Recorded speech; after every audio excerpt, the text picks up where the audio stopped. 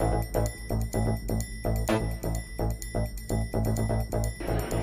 I think it's a big hit from the beginning, you know. That's how you need to start the conference. Might be the best morning ever, like seriously.